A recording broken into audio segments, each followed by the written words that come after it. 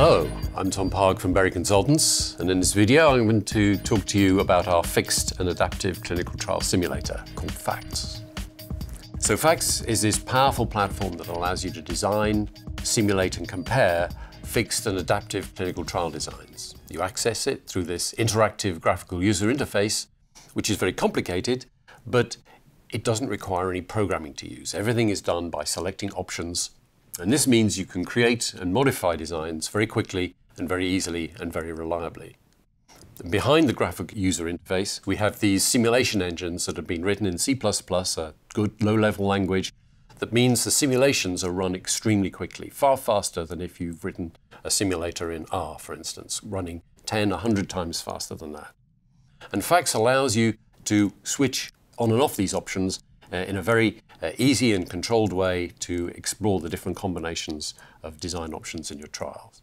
And it produces this very comprehensive output, which is easily loaded into R and post-processed uh, and further explored, although FACTS itself has rich charting and uh, graphing uh, features for showing you the results.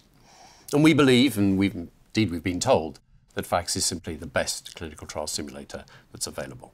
What FACTS isn't is it's not a design repository, it's not analysis software like Bugs or R or SAS. It doesn't do simple sample size calculations like nQuery or PASS. And it's not focused on closed form analysis, the sort of group sequential designs that East and ADDPLAN do. Instead, FACTS allows you to create your unique tailored solution to your particular trial problem. And why would you want to simulate designs? Simulation designs is one that is something that's uh, increasingly on the rise, but it's not traditionally taught as the way that, that trials are uh, designed and built, which concentrate, of course, on things like sample size calculations and power calculations.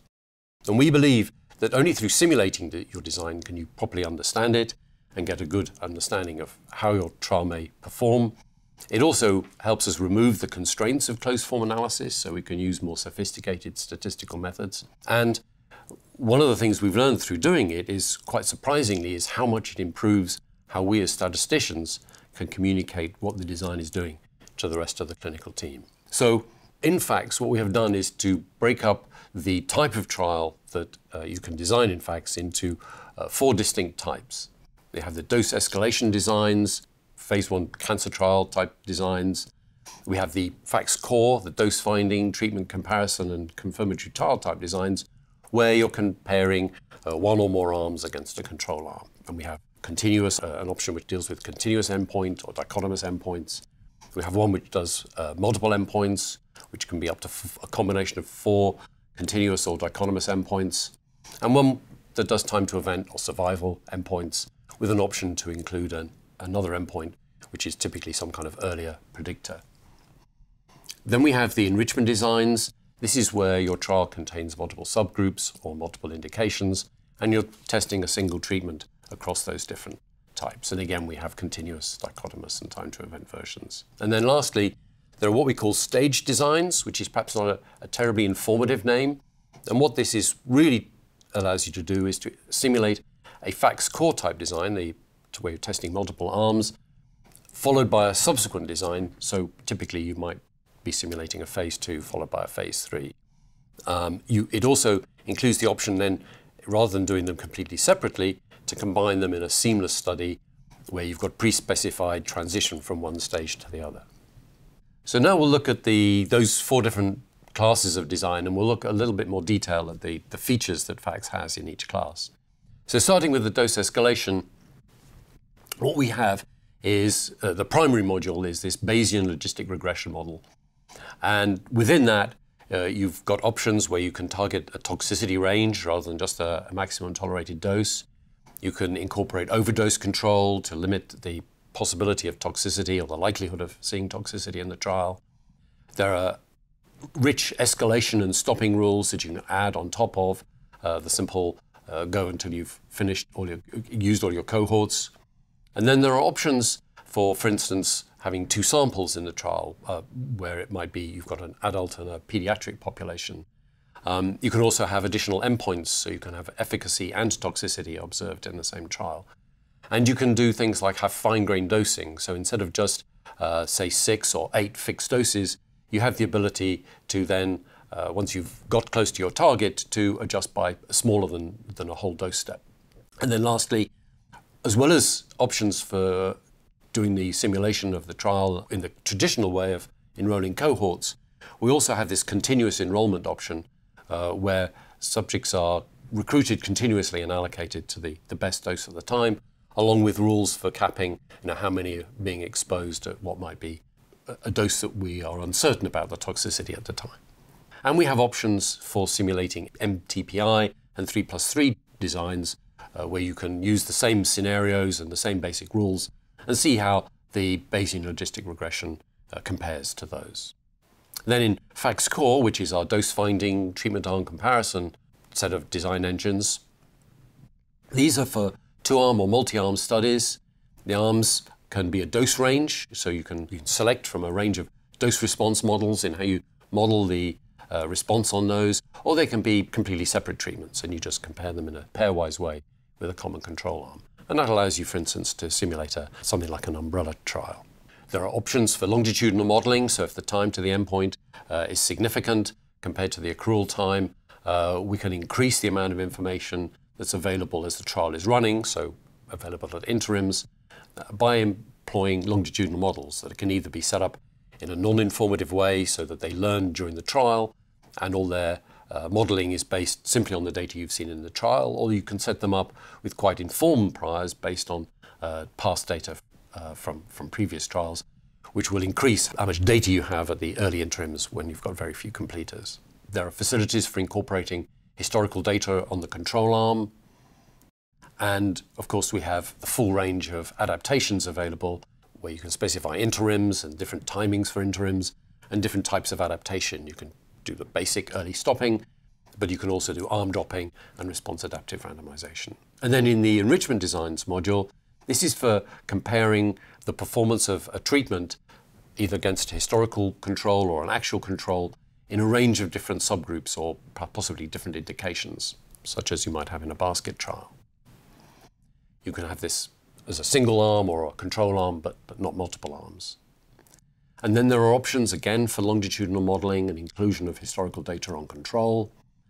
Uh, within the interims, we can now stop individual groups, uh, either for success or futility. An analysis can be by individual group, it can be overall across all groups, or it can use a Bayesian hierarchical model where we borrow across the groups uh, according to how similar the responses in the groups are. The more similar they are, the, the more we borrow, the less similar they are, the, the less we borrow between the groups. And then there's the slightly oddly named stage design simulation, and this allows us to simulate a sequence of two trials, such as a phase two followed by a phase three. But it can also simulate a seamless trial, such as a seamless phase two, three, or even a seamless 2A, 2B trial. So you've got a proof of concept followed by a more detailed dose finding stage. There are rules for specifying what arms that are being tested in the first stage are then carried forward to the second stage. And there are rules that you can specify uh, on how much information or how much data uh, from the first stage can be used in the second stage. It's also possible to do a completely different analysis in the second stage compared to the first stage. So you might, for instance, have a, a PFS compared to overall survival, or you might have a measure of efficacy like uh, cholesterol lowering in the first stage, but then the second stage is primarily about proving safety.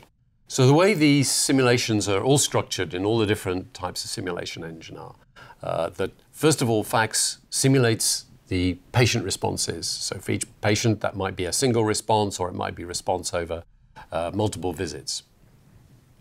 The FACTS then simulates the accrual of the patients and the timing up to the next interim or the first interim and then it extracts from the simulated patient data the data that would be visible at that interim. So that depending on uh, the accrual rate, that'll be a number of subjects who've been accrued, and some of them will be, might be complete, but others might be incomplete, and you only have partial data. Whatever it is, FACTS correctly extracts that data from the simulated patients, and it doesn't do its interim analysis on anything that wouldn't be there uh, in the actual trial. So then it performs the analysis, it derives the quantities of interest, the estimates, the Bayesian posterior probabilities, p-values, Bayesian predictive probabilities. And these then feed into the specified decisions that have been uh, that you, the user, have created in the design, and from those outcome the, the results of those decisions given the values of the quantities of interest. And those are then fed back uh, into the further recruitment. So you may have dropped an arm now and no longer be recruiting subjects on a particular treatment arm. The decision might, of course, be to finish and go to the final analysis. But we loop around until we do reach the final analysis, and then the final analysis is carried out, uh, and that's included in the, the, the final results. So, and then in the output of the simulation results, we get a record of how long the trial ran for, how many subjects were accrued, when it stopped, why it stopped, uh, and what the data looked like uh, when it did stop. So the technical structure of FACTS is that we have a separate graphical user interface, which we use for all the FACTS designs. And then behind the, the scenes, as it were, we have the different simulation engines or design engines, as we also call them. And they'll be specific to the particular kind of trial that you're designing. FACTS stores all the parameters you enter into this FACTS file, uh, which is very convenient. It means you can then send this .facts file to a colleague or to Berry Consultants uh, in order to pass on your design. And we can load that .facts file up in a version of FACTS and we will get exactly the same res simulation results that you do. So if, if you're emailing us and saying, you know, why is my design not working or why is FACTS failing here, we'll be able to diagnose that from just you sending us the FACTS file.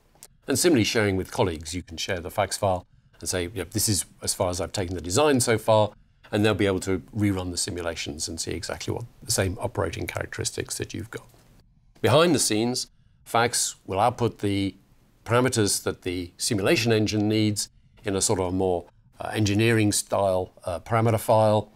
And then FACTS will launch as many of copies of the design, right design engine as you have cores on your laptop. And so it'll get the simulations all done in parallel. You also have options for offloading that onto a server or onto a compute grid and run even more copies of the simulation engines in, in parallel.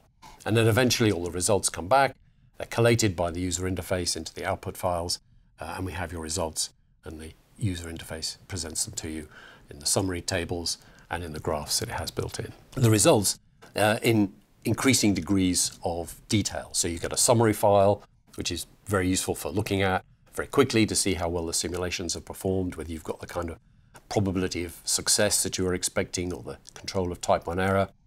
Then there's a second file which contains the results for each individual simulation as a single row. And that's particularly useful for post-processing if you want to do a different or a more complicated analysis than FACTS has done.